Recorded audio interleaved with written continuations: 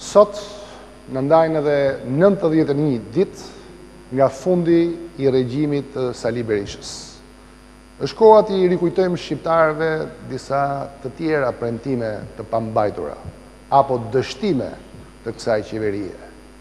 Do të ofronin lehtësira fiskale për biznesin, u thanë shqiptarëve dhe biznesmenëve.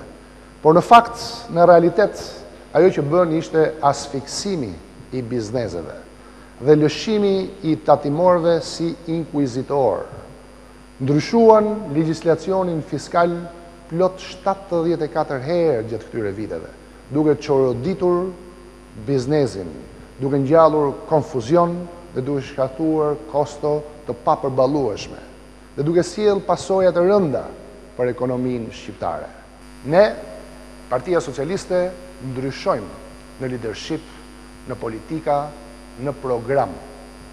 Gjëja e parë që do të bëjmë mbas njëzet e tre qershorit është që ta çlirojmë biznesin nga gjithë këto zinxhirë, hallka asfiksuese apo mekanizma mbytës. Ne kemi marrë një zotim për të hapur treqind mijë vende pune dhe do ta bëjmë në një partneritet serioz me biznesin privat.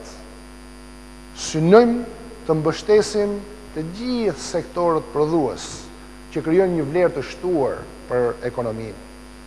Ne do të mbështesim dhe do të promovojmë një legjislacion inkurajues dhe efektiv dhe në selinë e Këshillit të Ministrave do të ketë një zyrë të posaçme këshillimi dhe konsulence me biznesin, një zyrë permanente. Pra, sot, shqiptarët i kërkojnë llogari Sali Berishës për premtimet e pambajtura, ndërkohë që ne i themi se çfarë do të bëjmë për një të ardhme më të mirë për shqiptarët.